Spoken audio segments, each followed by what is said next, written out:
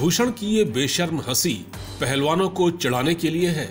खी खी कर हँसते हुए इस बेशर्म चेहरे पर भड़की महिला सांसद। दिल्ली की राउज एवेन्यू कोर्ट ने कल महिला पहलवानों के यौन उत्पीड़न के आरोपी ब्रजभूषण शरण सिंह को रेगुलर बेल दे दी। इस बेल के बाद ब्रजभूषण सिंह अदालत से निकलकर अपनी गाड़ी में बैठने से पहले खिलखिलाते दिखे। उनकी ये फ़ोटो मीडिया कर्मियों के कैमरे में कैद हो गई। अब ये फ़ोटो वायरल हो रही है।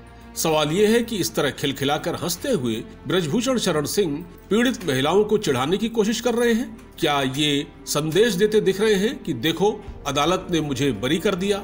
असल में इस फ़ोटो को टीएमसी की सांसद महुआ मोइत्रा ने ट्वीट किया है। उनका ट्वीट अंग्रेज़ी में है, जिसका अर्थ है कि देखिए कैसे यौन उत्पीड़न का एक आरोपी संसद के सत्र में गया, कैसे वो खुश है और विजयी मुद्रा में दिखाई दे रहा है। दिल्ली पुलिस ने उनकी जमानत का विरोध तक नहीं किया। महुआ मोइत्रा ने सीधे प्रधानमंत्री पर निशाना साधा। उन्होंने कहा कि मौन गुरुजी, प्रधानमंत्री जी, कृपया अपनी अंतरात्मा की आवाज़ सुने। इससे पहले दिल्ली पुलिस ने महिला पहलवानों के आरोपों के बाद ब्रजभूषण के खिलाफ चार्जशीट दाखिल की थी। इसके बाद उम्मीद की जा रही थी कि ब्रजभूषण का जेल जाना तय है, लेकिन वो तो बरी हो गए।